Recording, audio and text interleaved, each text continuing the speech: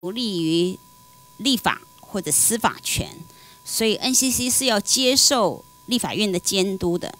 虽然我现在已经叫做执政党的委员，但是我还是要就制度面来告诉各位、提醒各位，也就是说，NCC 要接受立法院的监督，无论是在政策的辩护或者是政策的执行。要接受质询。从第一届开始的 NCC 呢，突然就只有主委跟副主委来委员会。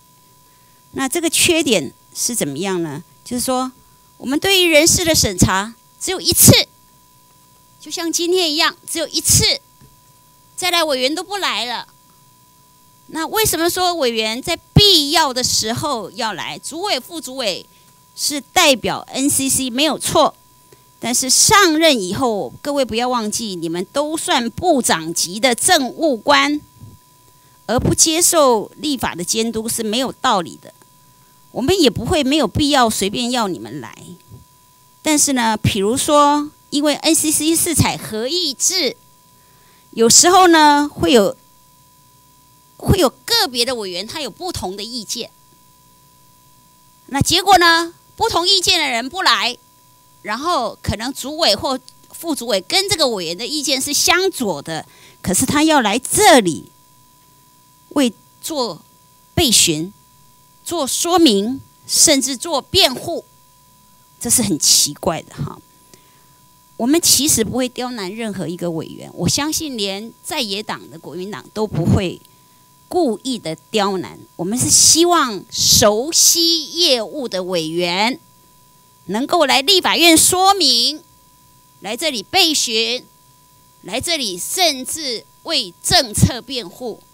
所以我现在首先要先请问的，其实来这里备询，我刚刚已经说了，绝对不会有人故意要你们都来。今天是因为第一次要审查你们同意权，将来我们要。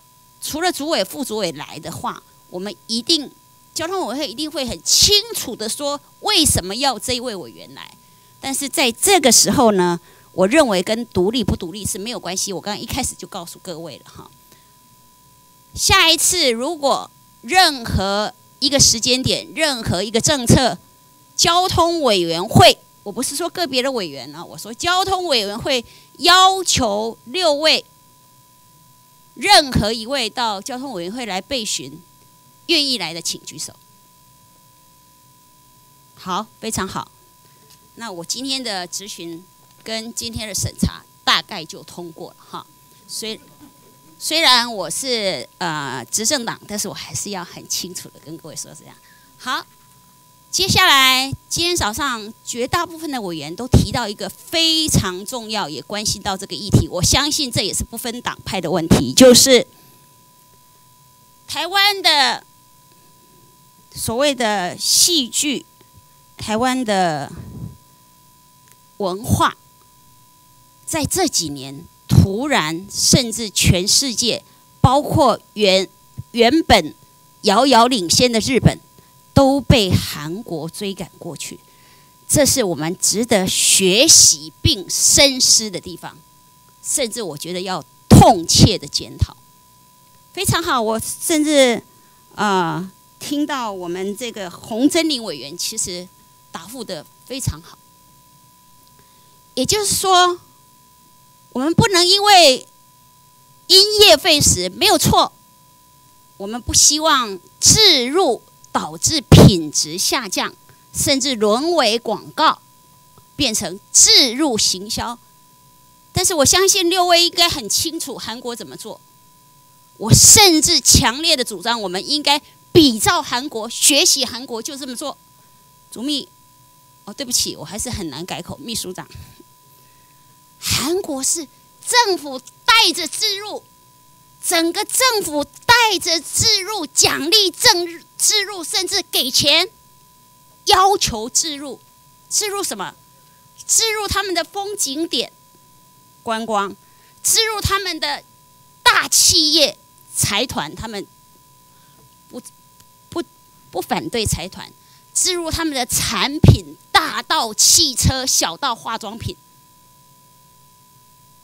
他们鼓励奖励，用整个国家的力量去置入，更不要说早上也有委员提到，甚至洪委员也提到，他们在黄金时段，比如说我们的八点档，我们现在八点档有多少本土剧啊？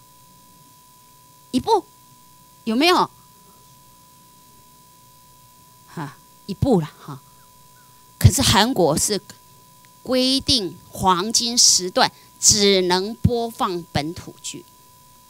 当然啦，站在消费者的立场，我们要看好的，不能硬塞给观众。如果本土剧的水准不够，没有竞争力，就强制要观众接受，这个也很难。但是韩国怎么做的？为什么他们可以在黄金时段？我告诉你，我妹妹在美国当家庭主妇，她以前只看日剧，因为她说韩剧都乱演，法律的也没有专业，医疗的也没有专业，没有那么精准啊。日本不是哦，日本你要在戏剧里面说法条、说制度、说什么，他们是要考证的。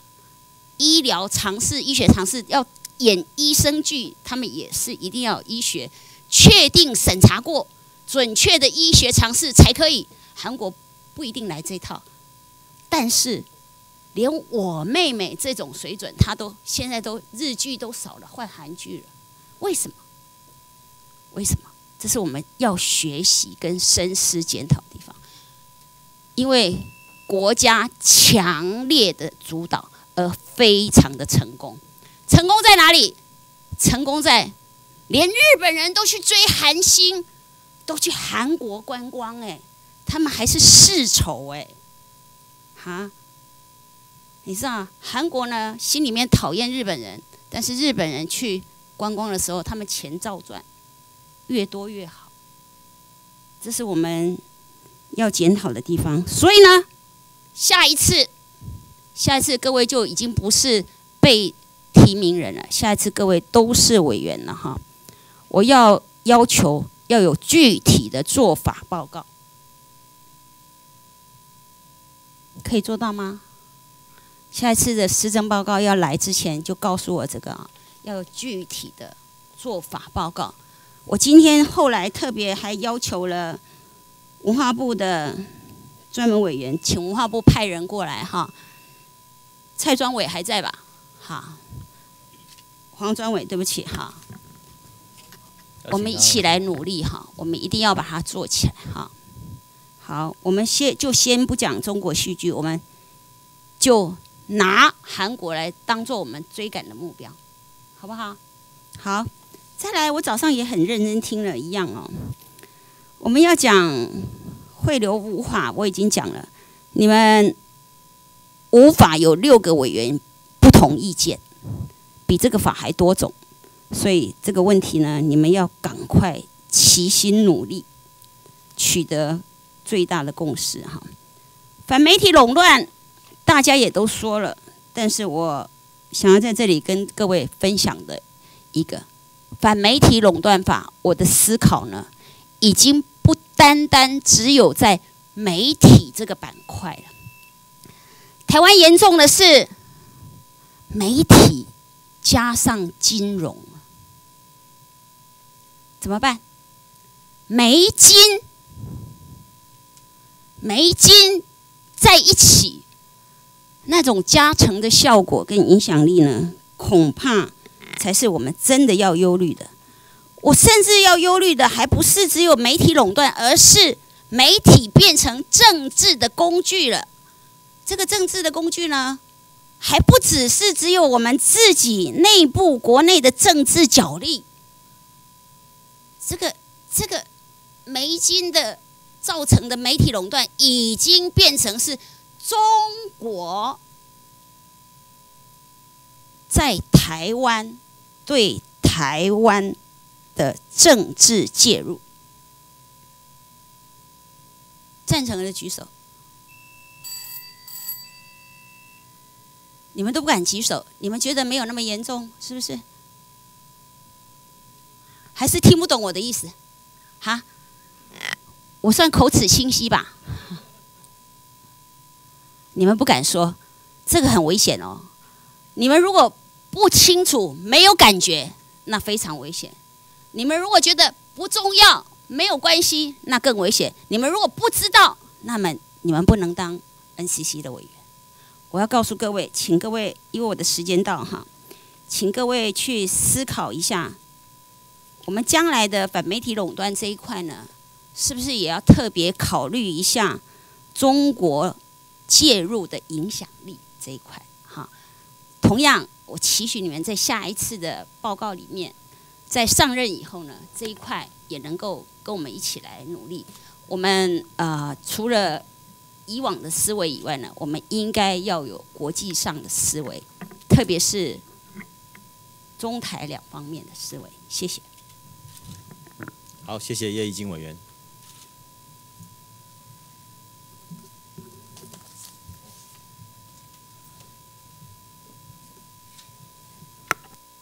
我们接着请蒋乃新委员。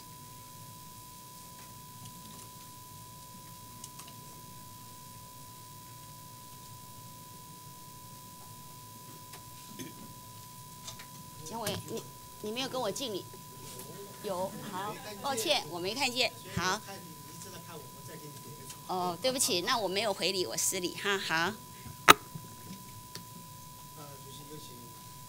六位提名人。请六位被提名人。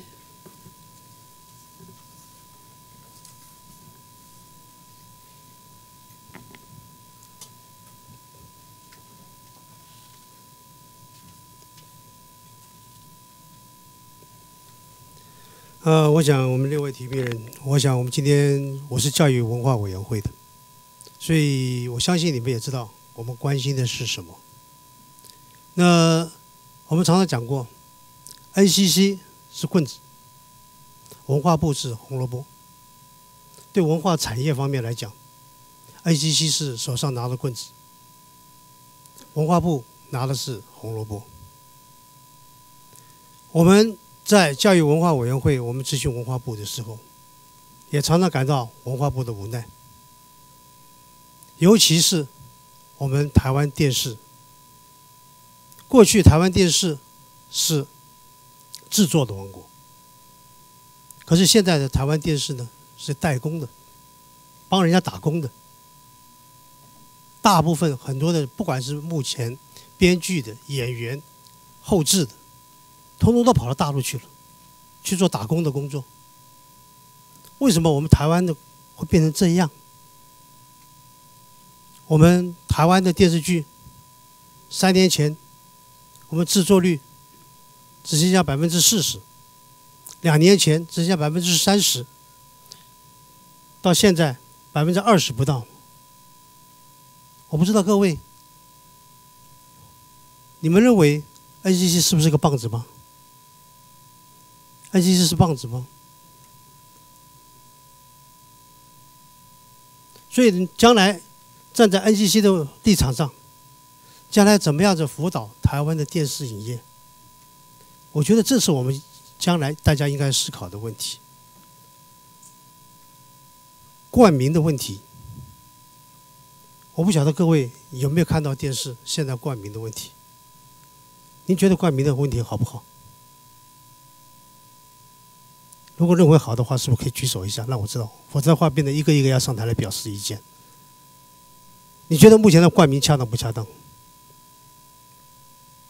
还是跟我不知道什么是冠名？都知道嘛？应该都知道嘛。如果现在不讲话，那请在投票前用书面给我。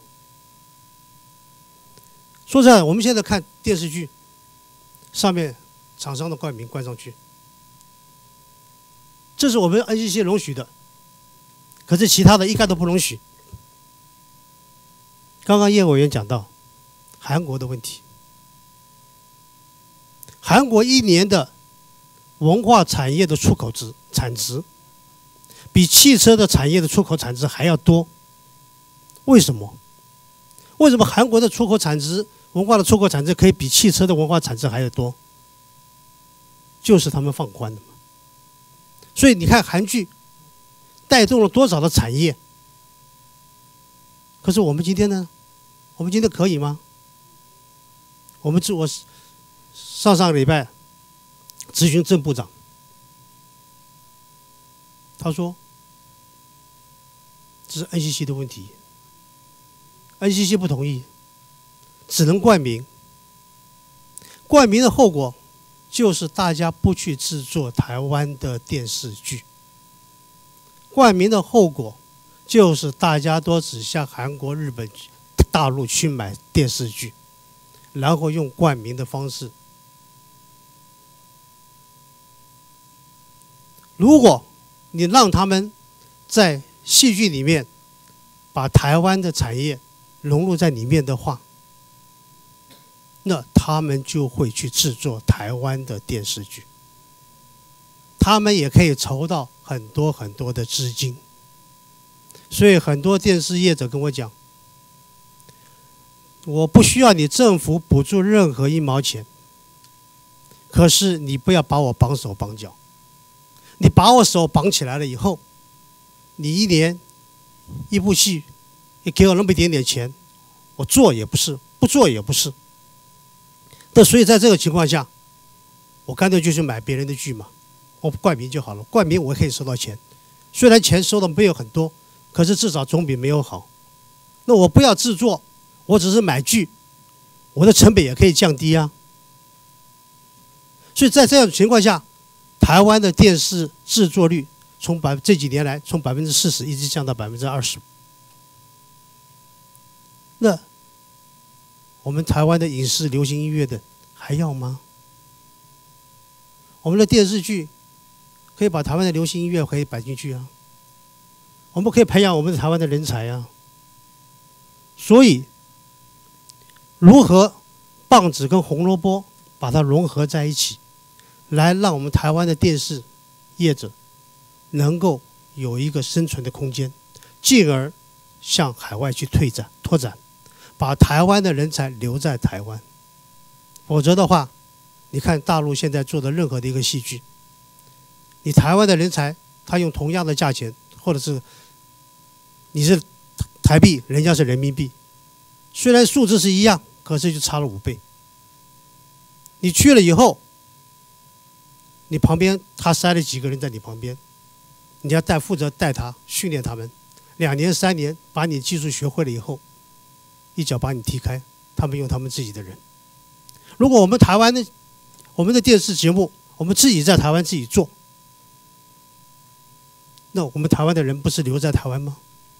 为什么要流浪在大陆呢？这对台湾有什么好处呢？可是为什么会现在目前的现象是这样呢？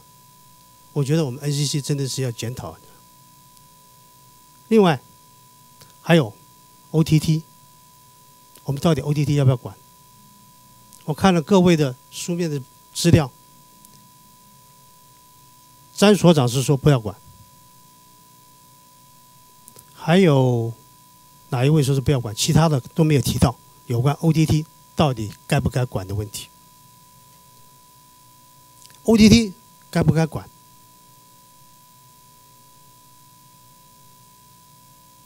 认为不该管的，请举手一下。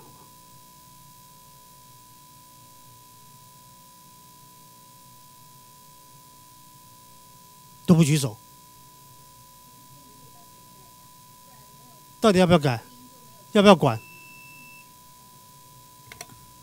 跟委员说明一下，就是说，基本上，基本上他应该是说，呃，要用。不是所谓的以管制网络的方式来管理 OTT，而是看怎么样去导引内容，可以扶植本本地的本国的制作的节目的方向来处理，不是从管制网络的角度来处理。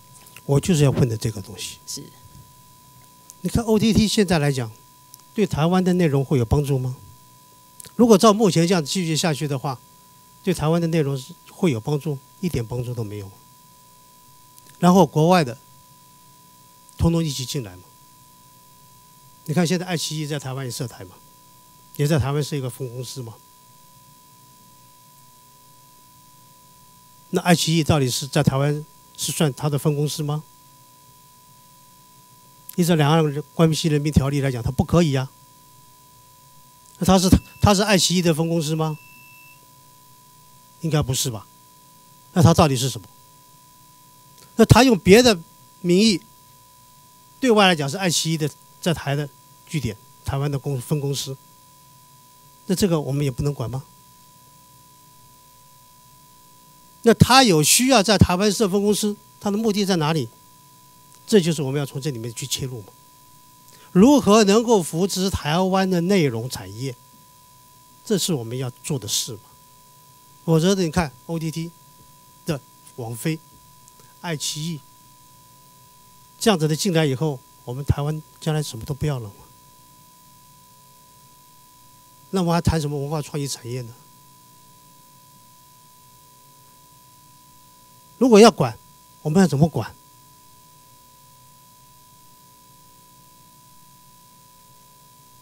我真的我不知道要怎么管，因为将来大家都是大各位来决定啊。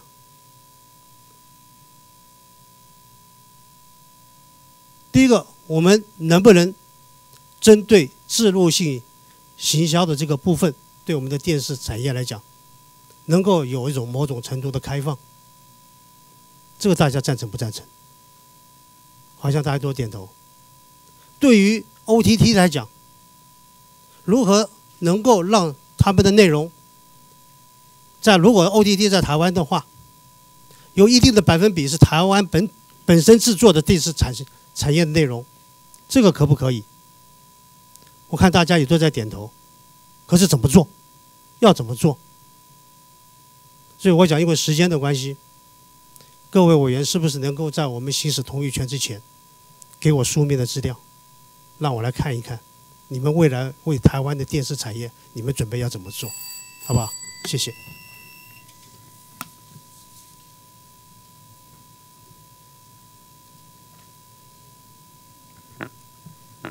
接着，我们请李丽芬委员质询。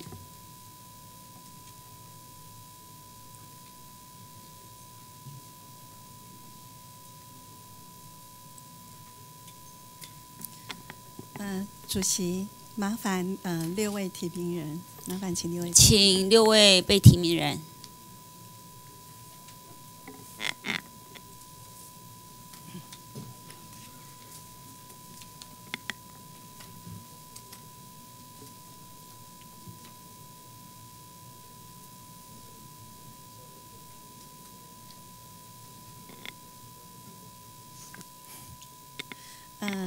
各位提名人，你们好。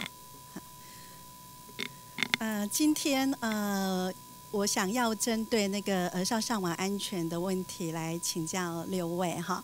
那虽然儿少上网安全这个议题看来是我们 NCC 的一个不是一个很大的一个业务哈，可是基本上这个问题应该是目前我们在国内所有的家长还有老师非常关心的一个议题。好，所以我想在这个部分来请教各位哈。嗯，我们都知道现在的儿童少年其实就在网络时代出生的，所以其实网络对他们来讲就是生活中的一部分了。可是因为网络，我们也看到说现在的儿童少年他在网络上很容易接触到有害身心健康的资讯，还是说前阵子网络的霸凌的问题也非常的严重。以及有越来越多的性剥削的事件，其实是透过网络的来发生的哈。那例如说，我们可以看到有很多人是利用网络来诱骗或促使儿童或少年遭受到性剥削，还是利用网络来散布儿童少年为性交猥亵行为的内容。那因为这些事情一再的发生哈，所以其实我觉得我们目前在儿少上网安全以及打击相关的犯罪真的是非常的呃，应该要刻不容缓，要采取相关的一个行动哈。所以在这边呢，首先要先请问呃，请问六位的提名人哈，那你们认为网际网络平台提供者、网际网络应用服务提供者以及电信事业的主管机关是哪个单位应该要来负责的？我们能不能先从我们的呃未来的主委这边嘿？开始回答，是呃，跟委员报告。据我的了解，这个部分好像呃会有不同的单位在做处理。就像之前那个游戏也是有分类分级，就是说它其实是有些在经济部、内政部还有其他相关的部会，大概各有一些执掌。对，OK，谢谢。那 我知道现在我们通常会有一个 iWin 的窗口，嗯那我们会呃接到这些申诉的话，我们会把它呃以就是说依业务执掌，诶给内政部哦，有的是呃给内政部的啊、有的业务是教育部的。那我们现在呃这个有在运作，这个机制也在运作。我想说现场的何委员他也蛮熟悉这个业务，谢谢。谢谢。那能不能请我们的很嗯福利这个部分哈，因为我们现在有儿童及少年福利法跟呃那个儿少性交易防治条例哈，所以那他们基本上主管机关应该是在内政部这个部分。好，那当然如果说涉及一些媒体行为的部分，那比如说像电视好或者网络，那这边当然好有一个部分是 NCC 必须主管的业务。好，就我了解是这样，谢谢。谢谢。好，那请呃，委员好，呃，关于这个问题啊，其实它是涉及到跨部会的权限的问题了哈、这不是只有 NCC，还包括刚才讲的内政部、教育部，其实还包括像卫福部这些相关的议题。那刚才那个我们翁副主委里面这边有提到这个所谓的 iWin 的问题哈、所以这个部分来讲，第目前的做法来讲是由 iWin 这边，然后呃把这个相关的这些案件呢交给各个不同的主管的呃那个部会来去处理。好，谢谢。我们请下一位。呃，委员好。那这个事情确实是牵扯到各个部会啊，要它的不同的呃这个偏差行为而定啊。那目前 NCC 的做法主要是扮演这个通报的角色啊。哦，那是不是以后可以研究跟这个相关的业者来更积极的方式来处理这个啊？我想以后我会带来努力，谢谢。嗯，谢谢。那何主秘，啊，李委员好。呃，现在呃，因为依照阿萨法，所以说我们成立了一个 iWin 的组织。那当然，外界有人认为 iWin 可能太消极，能不能更积极？事实上，呃，通常会已经跟那个卫福部已经有提提出一些更积极的说法，未来有没有可能来做一些更积极的做法？那另外，事实上，通常会可以在，因为毕竟 NCC 是现在 iWin 组织的召集单位，那在 NISI 底下有一个内容安全的委员会，那事实上这个召集人就是内容处的。内容内容内容输出处的处长来召集，所以事实上 NCC 可以在这个召集的情形，然后请跟相关部会，比如说警政署啦、卫福部啦，然后经济部等，我们可以利用把大家的各部会的横向沟通可以做得更好。那那这这一块是未来我们通常会可以在更积极着力的地方。谢谢。谢谢哈，我们非常感谢我们六位被提名人的回答哈。其实我觉得很高兴一点说，其实大家对这个业务都有或多或少的一个了解。那同时，同时也从大家的回答当中，大概有点出了一些目前在这个问题的一，在目前这个业务上面的一些呃问题、一些现况哈。那其实我在这边要跟呃。呃，六位啊来说明的部分就是说，其实我们在二零一五年，我们儿童及少年性交易防治条例也修正过了，叫做《儿童及少年性剥削防治条例》。那里面的第八条就有提到说，啊，这些业者他有通报责任。那其实我刚刚讲的那些业者，就是那三个业者，就是在《儿童及少年性交易防治》呃。儿童及少年性剥剥削防治条例的第八条提到的三项业者哦，就是包括网际网络平台提供者、网际网络应用服务提供者及电信业者知悉或透过网络内容防护机构、其他机关、主管机关而知有第四章情事的话，应先行移除该资讯，且保留相关资料至少九十天，然后来提供司法跟警察机关调查。那如果违反的话，可以依四十七条由目的事业主管机关处新台币六万元以上三十万元以下的罚款，然后还可以命其改善。好，然后没有改善的的还可以按次处罚哈。所以其实这个法虽然已经修正通过了，可是其实目前还没有真正生效。好，所以这个当中呢，我们就发现说，在这个条文就出现了一个问题，就是到目前为止，好像谁应该来呃做相关单位的这些呃分工，就是这些业者应该怎么分工，应该怎么通报，谁应该要去处罚的这件事情，就是很遗憾的，就是到目前为止，其实好像我们的卫福部这边的公文有来到我们 NCC，我们 NCC 又公文又回过去给他们，目前好像都还没有确定。我不知道说对这样的一件事情，对，就是说我们我会觉得说，就像刚刚各位提出来的，好像因为。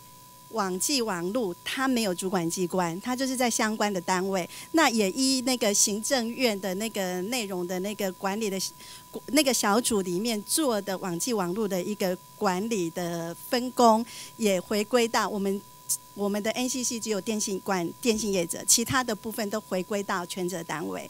那也因为这样子的话，我们就发现说，因为这样子，所以公婆众多，所以造成的什么样一个现象，就是。互相推诿的现象。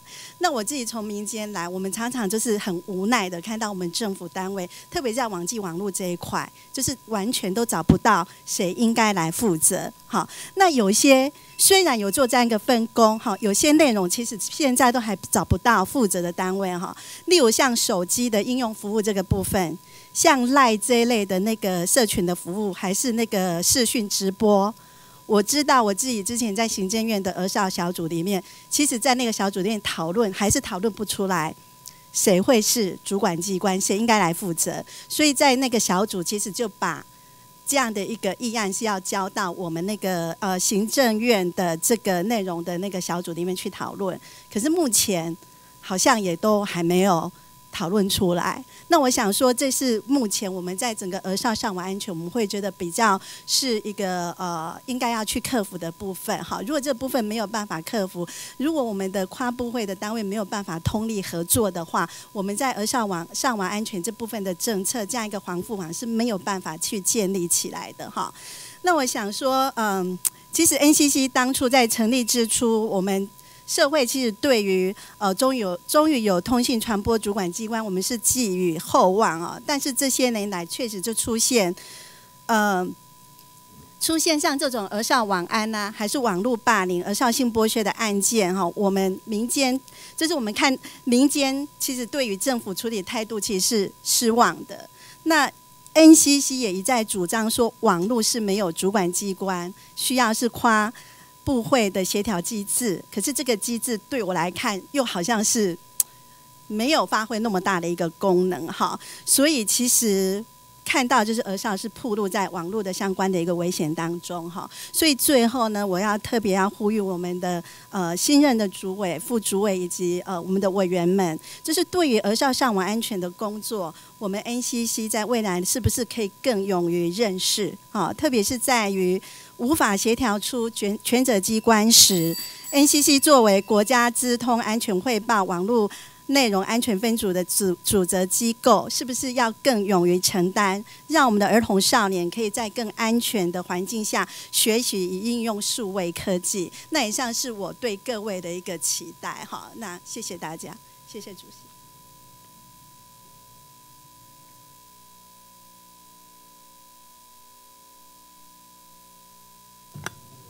接下来请何新存委员，何新存委员，何新存委员不在场，请。许志伟、许志杰委员，对不起。主席大家好，我们请主委。请哪一个主委？张主委。啊，现在还没。啊，阿妹，现现在是未来的了哈。啊，好。未来的主委啊。好，请詹婷怡女士。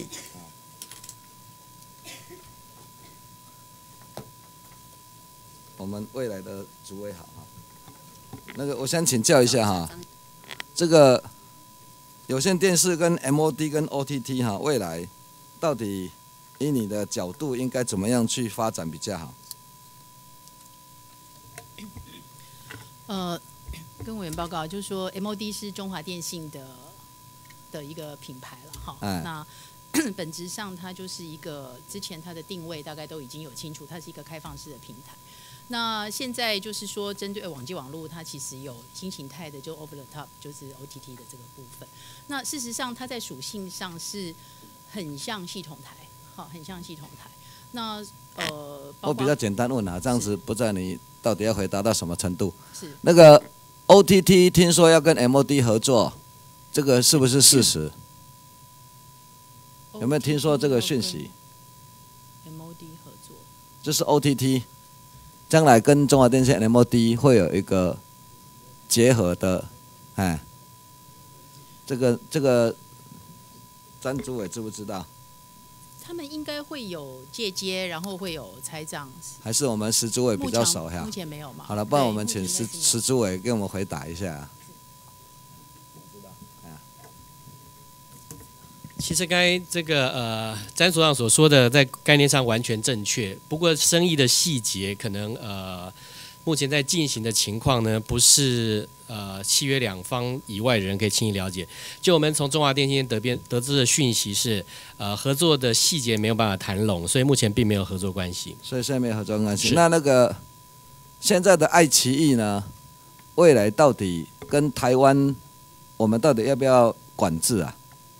啊，一直到七月三十一号为止，我可以很明确的回答委员呢，呃，包含今天上午有所有委员问到的，OTT 到底有没有这个法律的规范？我明确的回答有，所有呢，在中华民国境内该遵守的法律是一条都不能少，只是重点是在于，就像詹所长所说的是是哪一方面的规范。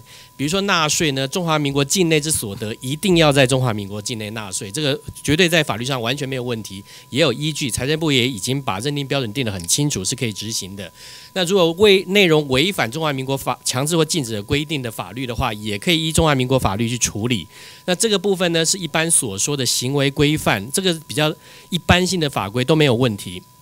可是刚才张首长也说得很清楚，业别式的特别针对 OTT，叫他来持照，叫他呢一定要在这个落地，然后要完成几项的义务，而且中华民国国民看不到不在中华民国合法落地的所有 OTT 呢，管到这种程度的呢很少。这我也顺便回答上午呢，执政党委员很多对呃 NC 目前规范状况说完全放任没有规范。呃，我做个补充说明，不是这个样子的。现在全部都有规范，只是指哪个层面的规范而已。那现在，比如说大陆跟台湾，我们去那边，他不让我们设频道或平台，对不对？啊，这会涉及。他们所谓的审批作业呢，到什么样程度会准许这个非来自于他们所可以掌控的事业在那边可以提供内容的部部分？这会涉及两岸呢，在这个相关的这个对等了，对等的问题是，我会说这就是核心的问题所在。那现在是不对等，对不对？呃，就我所知，目前两岸不再谈这个问题，因为呃。这个包含旧政府跟新政府很明确的是不让对岸的广电内容产业在台湾落地。那所以后续就是我们到底准不准他们？那他们会不会准我们？呃，这要看两岸的协谈情况怎么样。要你现在也不清楚，不能预测。要看新任陆委会主委以及得自新政府的训令是什么。好，那那我们未来的主委跟我们石主委意见有没有一样？就大的方向上来看哦，就这个部分来说，我们当然是希望说，为了要让台湾，因为任何一个措施它会有它的目标嘛。那这个目标我们现在就很清楚，是希望能够让国内自己本身自制的节目可以有更多的平台，而且要能够产生一个好的进循所以现在就就是 OTT 要不要管制到什么程度了？是，那这里面就牵涉到说，如果希望他来落地，然后在这边有缴税，同时有一定的比例可以来支持国内的本土的业者的自治的话，那这个部分的话就会牵涉到跟两岸人民。因为缴税，财政部之前我在教委会有咨询过嘛，财政部有答应说要做嘛，当时的税还是有两种不一样，它以现在的方式，它不是用 subsidiary，它是用 agent 的方式，那那个税基就会不同。所以现在财政部已经定好了。我刚刚石主委讲说，财政部已经定好了没？他是 A A 卷吧？是是是。是已经定好了。呃，它的主体的形态不一样。如果是子公司或者是 A 卷的话，它的它的那个税是计算的比例不一样。一个是百分之十，我有点忘了是多少。然后另外一个就是一般的盈利。没事，细节哈，细节你再跟石主委交接清楚了。我现在要的就是说哈，那个税的东西不能免嘛。好，那希望说，将来我们 NCC 跟财政部那边一定要 check 好。好，就是说我们不要让爱奇艺到我们这边来，好，贪婪台湾人的钱，给个无纳税。好，这个是我们比较在意的，一个是税的问题，一个是对等的问题。是。好，今天他要要求我们，我们要配合，或者是说他们要配合我们到什么程度，总是对等嘛。我们台湾跟美国之间，我们事实上是很对等，都很开放嘛。那现在因为对岸它不是一个开放的地方，那跟我们之间又有特殊的关系，啊啊，所以这个部分他就必须说，到底我们要拿捏到什么程度？好，希望说我们两位主委可以研究一下，那未来什么走向要走到什么程度，我们希望要很清楚。是，我们会注意这个问题。哦，因为你自己的工作报告里面也讲到说，境外 OTT 落地如何管制嘛，啊，这个是你的工作报告的第十七页，啊，O D T 无法被认定是频道业者或 MOD，所以呢，其实基本上不太赞成太多的管制，但是境外的管制呢，啊，又比较特殊，好，所以这个部分希望说，未来要怎么做，定出方向之后，或者是税怎么收。是不是麻烦那个将来 NCC 可以给我一份资料？好，那这个大概什么时候可以有啊有结果可以给我？哦，等到我们八月一号之后，会在最短的时间之内。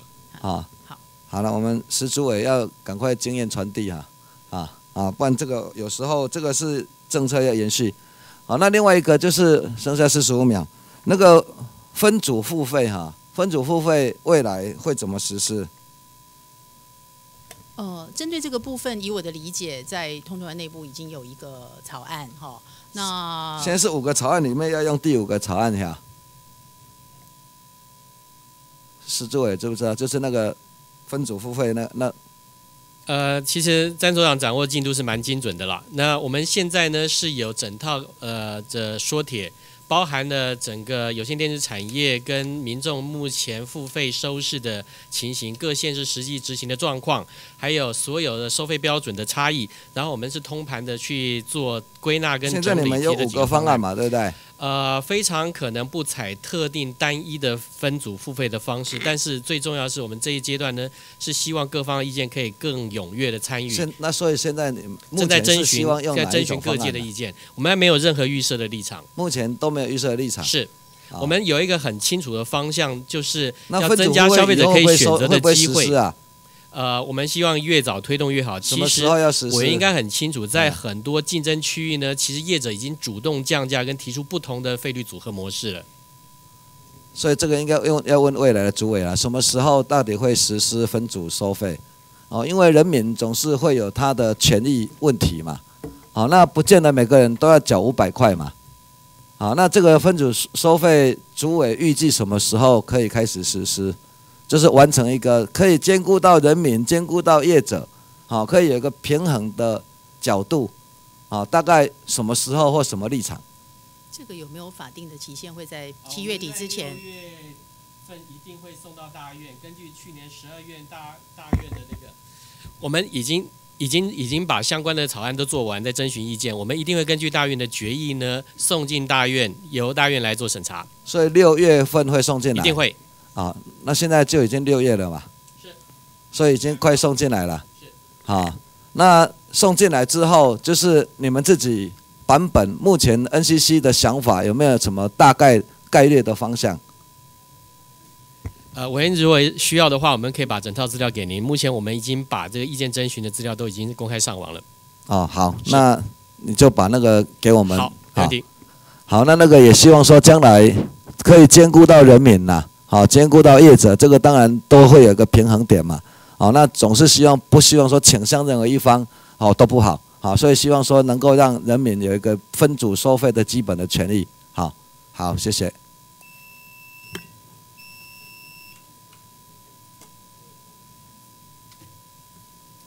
我们接着请顾立雄委员咨询。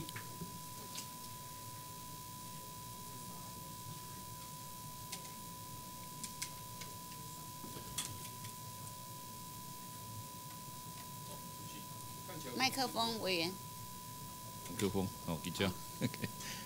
那个看起来我们好像是这种人事的同一听证，也可以请现任的主委就对了。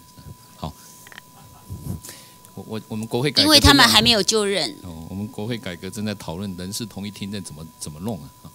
是不是请一下呃石主委，还有那个被提名的，请石主委，被提名的詹所长，好吧？被提名的詹婷怡小姐。呃，我是想请教，呃，当然现任的主委以及即将就任的主委有关那个换照评鉴的问题。哦，因为我在担任这个全国律师工会理事长的时候啊，我曾经因为这一个各相关的电子媒体跟平面媒体啊，因为这个违反侦查不公开的情形呢、非常的严重，所以呢，我就呃募了一笔钱呢，找了相关的这个呃研究所的学生啊，就每天去测录电子媒体上面违反侦查不公开的一个情况。那后来发现呢，非常的严重啊，只做了半年就一大堆哦。那违反的单位很多，海巡署、调查局、各个警察局、分刑事局的、哦派出所的，什么都有。什么只要是有涉及到在做调查的呢，这些刑事案件侦办的工作都有在违反侦查不公开的一个状况。那所以我我们后来就发函全部。这其中啊，这其中我也给了 NCC 哦。那么 NCC 给我的答复是非常的软弱了，哦意思好像是说没有没有没有什么没有什么招可以来对付这样的一个状况。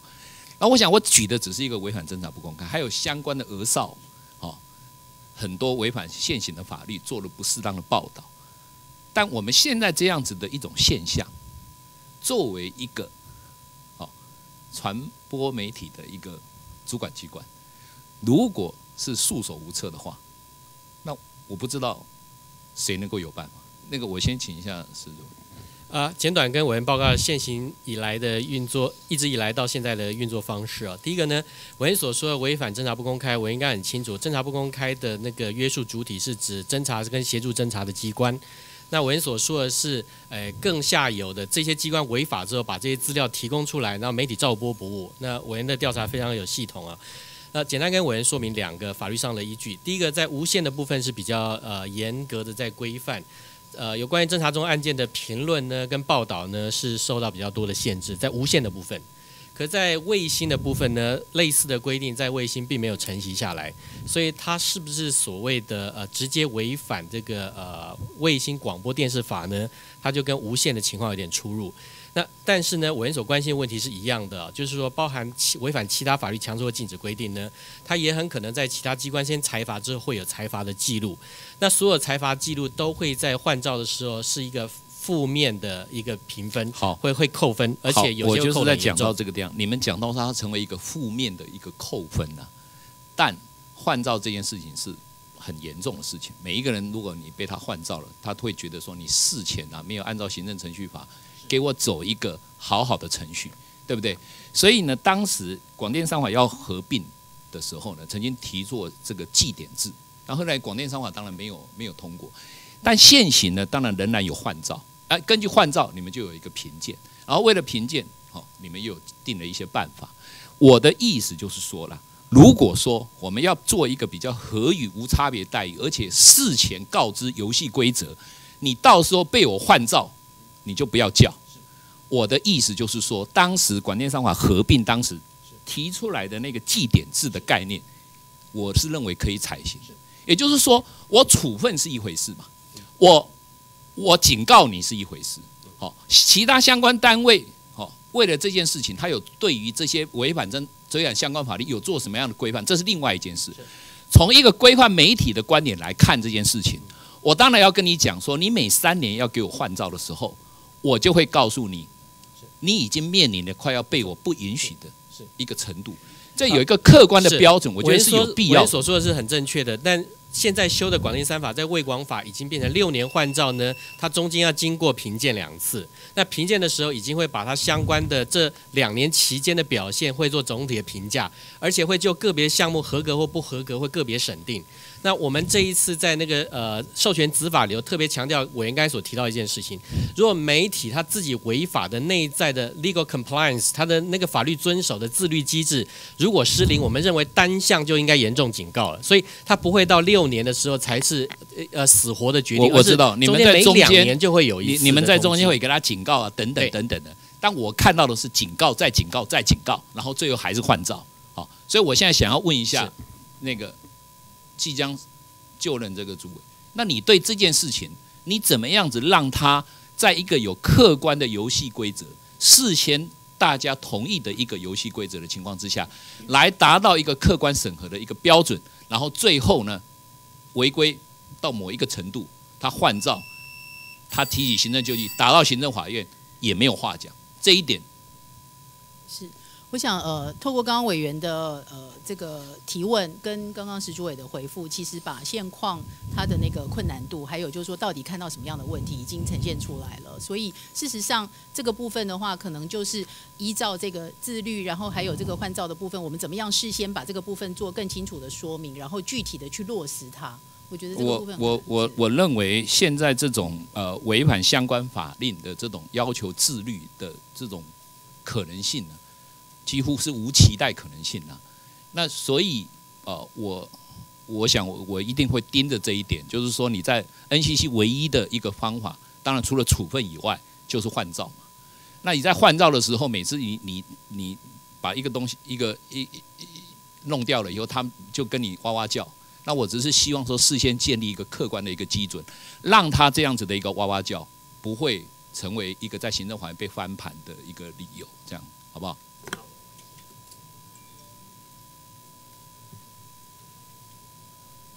好，我们接下来请孔文吉委员。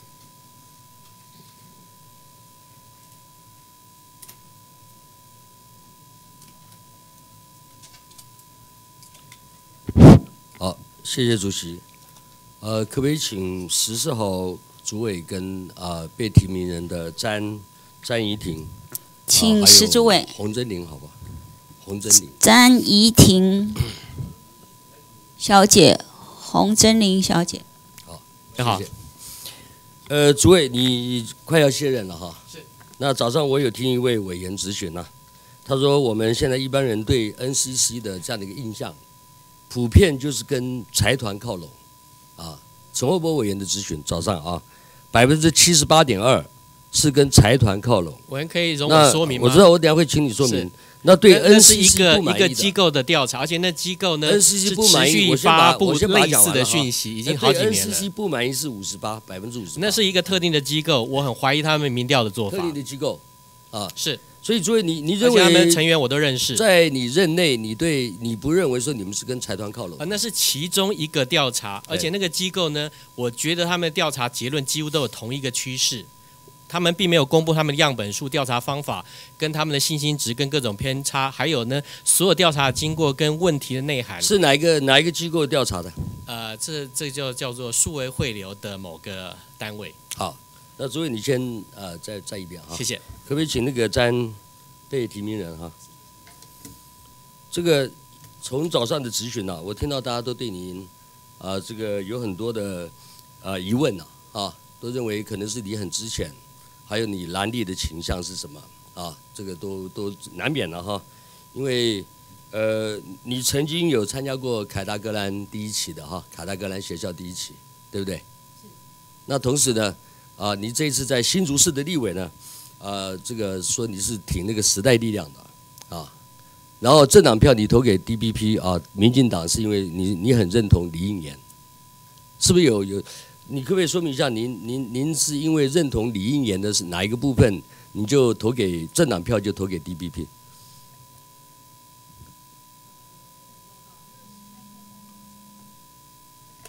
跟委员说明哦，那个是也是一个媒体的报道。那事实上，那个不是经由我的访问，他大概所以你跟你跟李应言委员很熟吗？还是哦没有，因为因为当时是因为政党票它是有那个不分区的排行啦，嗯是因为这样子的原因啦。对，就是说希望可以，如果问我自己个人的话，那个我这个我想被提名，因为我会我我看说后后来我在看你的资料啊，就是你你跟那个什么吴志阳委员跟连胜文也都非常的熟悉。那我我认识令尊哈，你你过去是内政部的主秘嘛，啊，所以所以这个蓝地几乎都有了啊。我过去在内政部服务五年嘛，啊，当时吴志阳的父亲吴伯雄是部长，主秘是就是令令尊呐啊。那那个时候我是在内政部啊，这五年期间，所以我倒不是说质疑你的蓝地的倾向是什么，那但是可不可以说明一下，您被提名接这个主委，是不是有什么伯乐？伯乐是哪一位伯乐在后面来帮您这个？您您认为你的伯乐是谁？呃，跟委员说明啊，就是说其实还是要回到那个报道，其实我并不认识。不是你自己想说你，你你会被提名到 NCC 主委这个位置，总是有一个呃，这个这个有有一个幕后的一个推动的手吧？啊，一个伯乐嘛。那您认为是谁？是蔡英文吗？还是哦以我的理解，就是就是我政委嘛，哈，就是督导，就是政委，然后再来就是因为可能、政委？政委是谁？施政委，是俊吉市政委。哦，施施对，施吉生是吧因？为施俊吉施施政委。嗯，因为我们就是在这个领域里头，其实也借这个机会跟委员说明一下，我大概在数位汇流的领域里面哦，从电信自由化我就开始参与了，好、所以大概已经是二十多年了，二十多年的历史了。我知道这个，您对您是这一方面的专精了哈所以在那。个时候，其实大概啊，现在现在我最主要是我我要问六位六位被提名人哈，因为不见得说每一个被提名人这个委员会出去都可以送到立法院去表决的，啊，曾经有就有某位啊，我们前任立委周守训的太太，就就在我们交通委员会审查的时候啊，就被就被除名了，啊，所以现在是要问说，你们六位有没有兼任传播媒体公司的董事或者是什么？呃，有没有投资什么股份当股东的？有没有？你们六位有没有？这个这个，我觉得我觉得这个是最重要的一个关键啊。当时周守训委员的夫人没有通过，是因为觉得说跟传播集团有很密切的关系啊。跟委员说明我个人的状况哦，我不只是没有参与任何跟传播媒体有关的，我连一张股票都没有。然后我跟财团也没有任何的投资的关系。好，这这句话这句话要列在我们国会国会殿堂哈，不要像中央研究院欧启慧院长这样哈，到到到时候报报出来是有啊。好，那这个我我想这个这是一个啦，那个红时间到吗？是还有还有两分钟嘛？没有，啊，不是不是八加二大家都一样的啊。啊？对，那再三十秒好吧？啊，那我想请问一下洪真玲哈，洪真玲是这个你的论文审查部分哈，论文审查部分有没有有没有这个现在问题怎么样？有有没有厘清？审注你的论文审查，升等教授报告委员到目前为止没有人质疑这一点，那我可不可以问他一下嘛？可以，但是时间到了，好了，三十秒吧。好，来来，对不起，因为委员我不知道您这个问题具体指涉的是什么。没有，我说彭文正，彭文正先生哈，他这个是是针对说你这个升等教授论文的审查的部分啊。呃，基本上哈，我个人我在台大服务十年，然后我在二零一四年跟二二零一五年哈，那我提升等正教授哈，那二零一四年那次升等并没有通过，二零一五年升等通过，那整个过程就是这样子。好，你认为那是没问题希望这样的回答好，可以让你认为是没问题？是是绝对没有问这个题。要等待我们严格的检验了哈。绝对没有问题，嘿，这个是一个台大非常严谨的制度所通过的结果，谢谢。好，谢谢。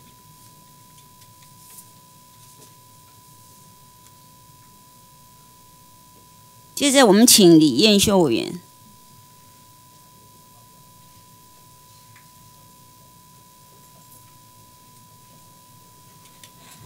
谢谢主席，我是不是可以请呃翁伯中翁委员？请翁伯中先生。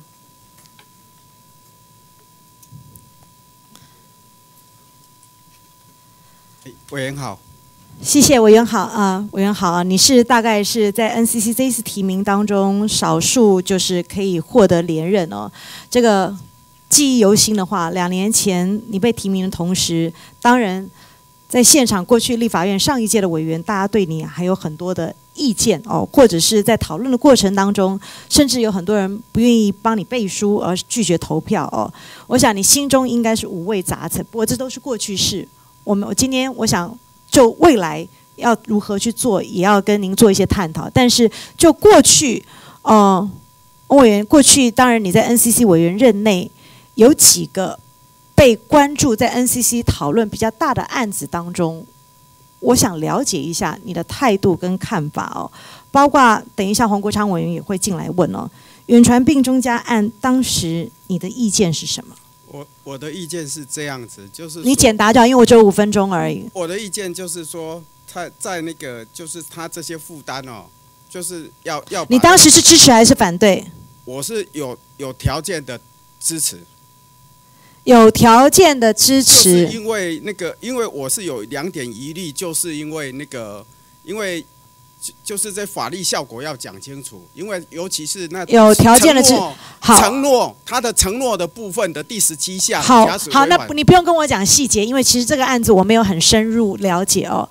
呃，翁委员，呃，有条件的支持代表你过去是有条件的支持，未来这个案子如果重新再审，你是不是一样会有条件的支持？我会持持续的关注这两点。我就是我你不要说只就是关，你一样是有条件的支持，但是这两点还是你的坚持。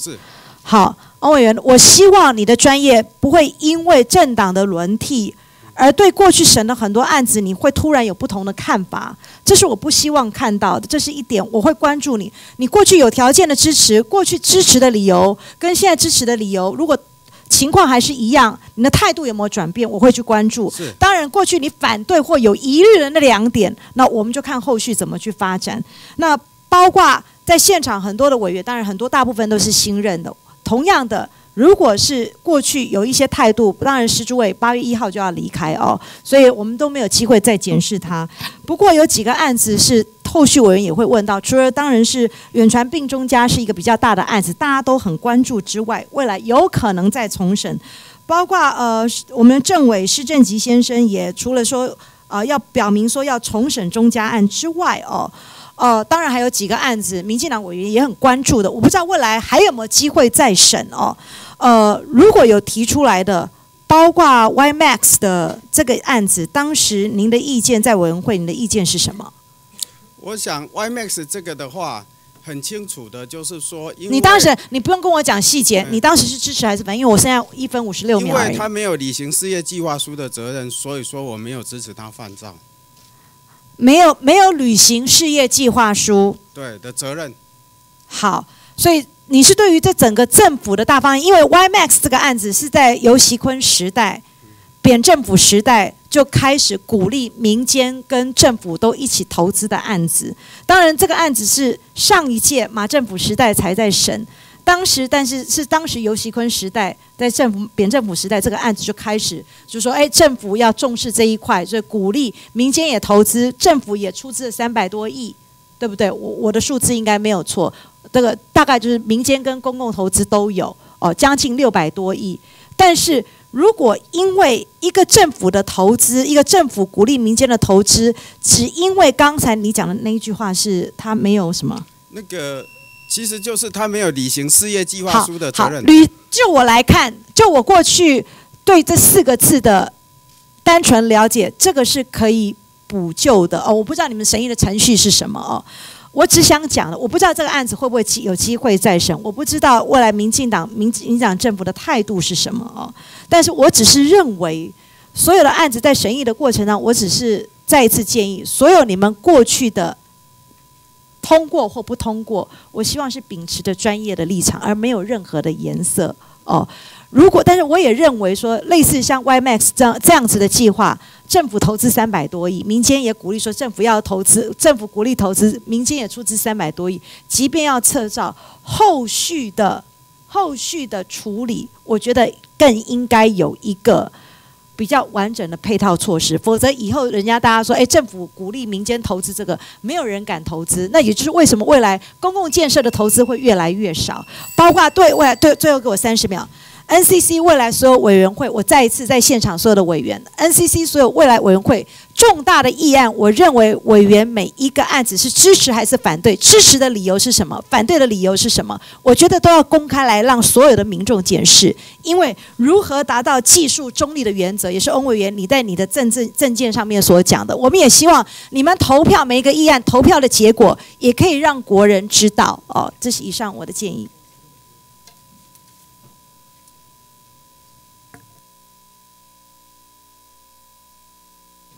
好，我们接着请黄国昌委员质询。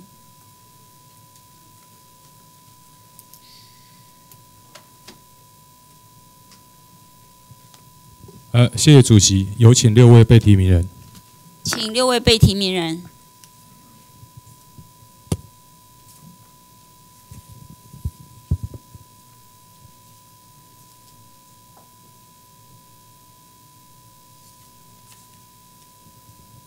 哎，呃，各位被提名人有很多是以前学界的前辈或者是朋友，不好意思哦，因为时间有限，所以一次请六位上来，请六位不要见怪。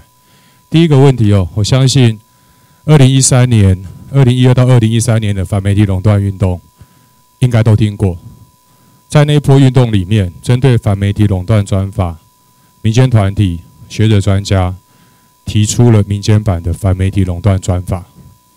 那其中有几个重要的诉求：第一个，针对新闻媒体设立明确红线；第二个，公共利益纳入审查标准；第三个，确立媒介分离原则；第四个，公平上下架机制的建立；第五个，公益诉讼条款；第六个，明文保护新闻专业自主，也就是编辑室公约的问题。那赞成反媒体垄断法这六大立法诉求的被提名，是不是可以举手让我知道一下？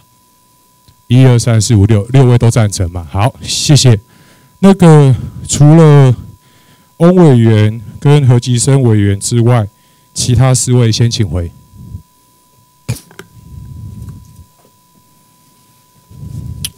来，我先请教一下翁委员。二零二零一三年一月十号，当反媒体垄断运动在广电三法提出这几个立法诉求的时候，你是不是代表那个时候的 NCC 紧急召开记者会，延迟的批判，认为这是一个草率的立法？哎，包委员，那时候我是通传会的代理发言人，那委员会的决决议，那我我是代理发言人的角色，我我我，因为那个委员会的决的决定是这样子，我就只能依照这样子来做。好，那你个人认为在二零一三年一月的时候，那个时候广电三法修正案跟反媒体垄断有关系的条文没有过，你觉得是好事还是是觉得遗憾？因为那个时候朝野哦，都已经跟全国的民众承诺哦，都支持反媒体垄断的理念了。结果 NCC 那时候跑出来说要用专法，结果搞到二零一三年拖拖拉拉到三四月才提出来，最后胎死腹中。那个时候一月拦下来没有过，你觉得是好事，还是觉得遗憾？我想，诶、是诶、是不是要立专法？这个我我想说另外来谈。但是就是说广电三法，假使这样子的话，我是赞成让他能能走。所以那个时候你在开那个记者会的时候，你也很无奈嘛，因为那个是机关的意见，不是你个人的意见，对不对？诶、我那时候我就跟委员报告，我那时候是那个会里面的代理发言人，委员会的决议，七位委员的决议，我要遵守。好，没有关系。那接下来请那个何何吉生被提名人。委员好，哎，你好吼，我看了你的那个著作目录啊，对不起，我看不太懂哦。论文迎接数位时代的资讯传播基本法制的整合与建构，台湾有线视讯宽频网络发展协进会，二零两千年的论文，结果同一篇论文。迎接数位时代的资讯传播基本法的整合与建构，出现在蔡明诚教授研讨会论文的著作目录当中。这个论文到底是谁写的？呃，我跟蔡明诚老师在呃比较早之前，还没有到呃 NCC 还没有成立之前，我们就曾经有研究过宽频未来网网络宽频以后的研究。那后来的那一篇研究是我的博士论文写写的，所以没有啦，我现在很具体的，你的博士论文，我现在可以跟你讲，我整本念完了，三四百页，我整本都看完了。现在我只很具体的问你，这篇论文到底是你写的，还是蔡明成写的？我跟蔡老师都都有参与研究。现在这篇论文今天有没有带来？呃，我的论文可以，我事后再提供给委员。所以这些著作目录上面哈，我现在先只请教你一个事情，你说这是一篇论文，如果是你跟蔡明成合著的，你为什么不标出来？你在其他的地方有写哦，写说与谁谁谁和写，与谁谁谁和写，所以这篇文章到底是你写的还是蔡明成写的？因为我们是那个那个时候有接受委托研究，所以那个时候我我以学校的那个，所以我问你，到底是谁写的？是你们两个合著的吗？对。如果是合著，你为什么不标示？那可能这一边有疏漏，我们再补上。来，请秘书长上来。请陈秘书长，但是委员你的时间到了。我尽快了哈，因因为这个事情要弄清楚。上一届 NCC 委员提名的时候，已经发生过类似的事情，这一届再发生，我很遗憾。秘书长，你觉得被提名人送这样子的资料来，符合规范吗？我想，如果如果是合著的，应该要注明。除了这一篇以外，还有没有别的？来，请核备提名人。这里面没有清楚的标示，是你跟人家合作的，还有没有别的？呃，应该没有，因为我应该没有哎对，哎好。因应公平竞争环境的资讯产业一样，台湾有线宽频两千零二年，人家赛的是谁？蔡明诚。你刚刚跟我说没有？那那对，就是有线电视的发展与展望，你也没有写别的，人家赛的是谁？陈清河。成立财团法人原住民的可行性评估，人家赛的是谁？陈清河。你刚刚敢跟我说没有？我可以跟我光光哈那这一个著作目录里参与研，究，对，好，你跟人家合著的，你全部都没有标出来。我现在要求交通委员会，请被提名人，如果其他的委员今天的质询时间非常短，那这样子的审查密度，我相信台湾社会也很难接受。不过，因为我们时间可能有点赶，没有关系。但是我现在先要就拜托交通委员会的要求被提名人送更正的资料来，送更正的资料来。如果有出现这样的状况，你今天送到立法院来的资料，全部重新回去看一次。那第二个，其他的被提名人今天刚好也有机会，再回去 review 一下你们送到立法院来的东西是不是有问题。如果有问题的话，在院会行使同意权投票之前提出更正版来。OK 好，呃，相关的论文哈，因为都是这个协会在赞助的研究，我到现在我都找不到，所以请被提名人把你的著作更正表连同著作实际的内容一并提出来。好，哎，就黄委员所提出的哈，也请提供哈，我们据实以报是最基本的，一定要做到。那再请补送或者是重新列一个表哈，请秘书长再注意一下。好，我们接下来请徐国勇，徐国勇，徐国勇委员不在场，请蔡依瑜委员，蔡依瑜。蔡依瑜委员不在场，请林德福委员。林德福，林德福委员不在场，请邱志伟委员。邱志伟，邱志伟委员不在场。许徐真卫委员，徐真卫，徐真卫委员不在场，请江启臣委员。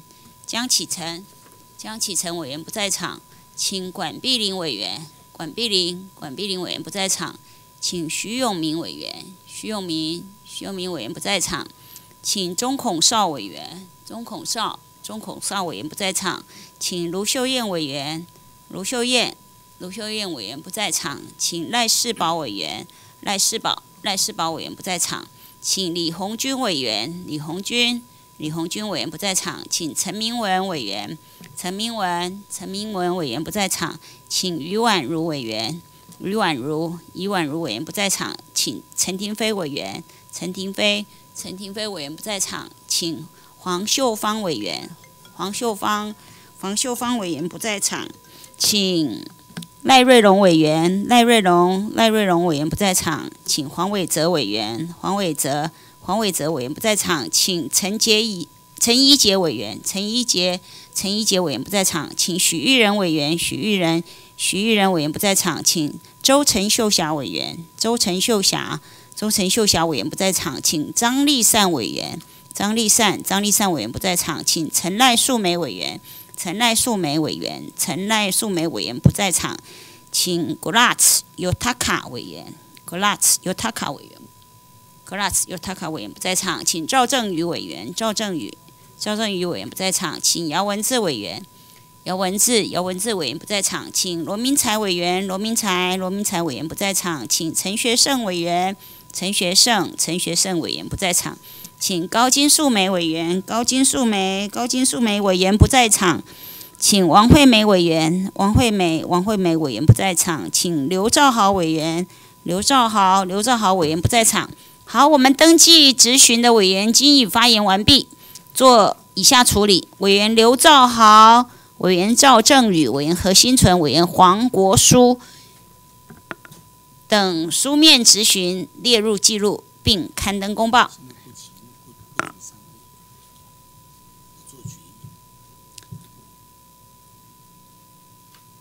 我们现在休息五分钟，因为会场人数不足，没有办法做决议啊。少奇，赶快哈。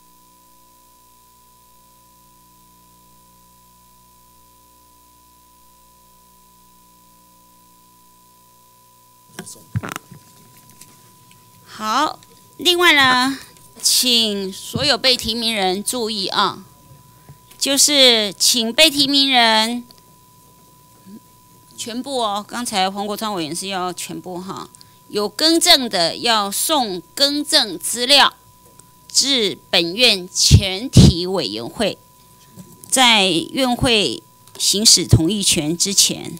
好，我们对本日会议做如下的决议：一、报告及询答完毕；二、审查行政院函送提名国家通讯传播委员会委员名单，詹廷仪为委员，并为主任委员；翁博忠委员指定为副主任委员；洪真玲、陈耀祥、郭文忠及何吉生均为委员，请同意案审查完竣，凝聚审查报告，提报院会公决。第三。院会行使同意权之前，不需交由党团协商。院会讨论本案时，由本会召集人本席叶已经补充说明。第四，委员于质询时要求提供的相关书面资料或未及答复部分，请行政院及相关单位尽速以书面答复。第五，本次联席会会议议事录授权由主席核定后确定。以上有无异议？没有异议。通过，散会。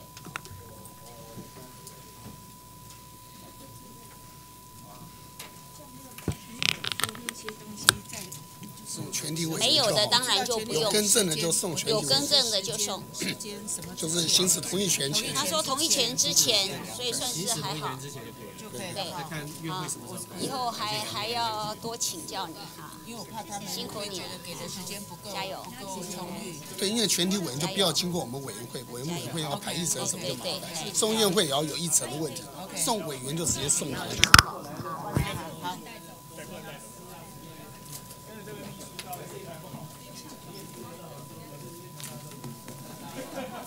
坤者，等一个，阿姊催你一个。变一个，阿姊和你讲一个。我我四点，我坐四点半。